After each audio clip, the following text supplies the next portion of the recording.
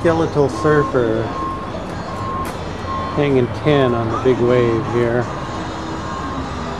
at the seaside haunt. Say cheese. Ready for your close up? Very nice.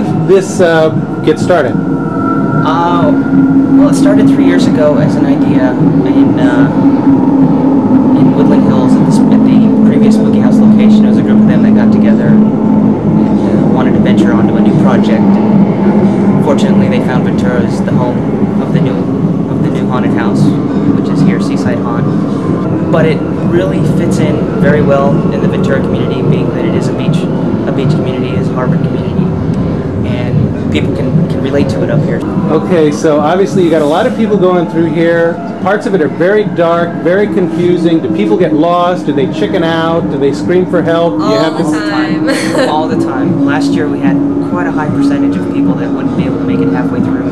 We had a group of guys and their girlfriends go through, and uh, halfway halfway through, a couple rooms into it, um, the guys left and left their girlfriends in the haunt, and you could hear their girlfriends yelling for them, and they're like, "You better get back here!" The guys are like, "No way, no way!" So they had to go out the chicken exit, which is the front door, and had to be seen by hundreds of people Yeah. in line. Now, the zone, there are different sections of the maze, and you just set people in there and let them do what they have to do. Right. We leave it up to their imagination. It's never fun to be told what to do, especially in something as creative as a haunted house. Uh, how can you tell someone to stand there and say, you know, you sit here and you say boo and you do it at this time when this person's walking by? We'd rather have it, you know, here's what, here's your area, here's the situation, and if you need any help, we're, we're there to help you. But we prefer that, you know, you come up with something on your own. I'm sure it'll be great. And if you want to run it past us, that's fine too. Yeah. So we really want everyone to have a part in it. We don't want them to feel like it's not their haunted Right. house. The whole the whole design of, of doing that with the zones is is letting them be creative, letting them know that they can they can be a part of it. That that it it's really up to them that to what makes the attraction really good, and to have a sense of ownership. On a normal night, we would have normally about, I'd say 20 or so people. Um, we try not to make it too busy because it takes away a lot from the haunt itself. If everywhere you turn there's actors, you don't get to enjoy the scenery or anything like that. So, are you going to stick to uh, Ventura, or are you looking for maybe a more populous location? Um, we don't know. don't know. There has been talk of moving the attraction to West LA somewhere, but uh, as of right now, that's just talk. Yeah. So Nothing's set in stone. for now, this is where we are.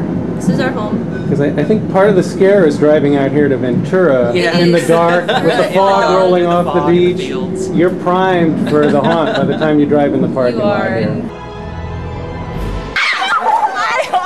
Get away, get away. Stay upright on your face.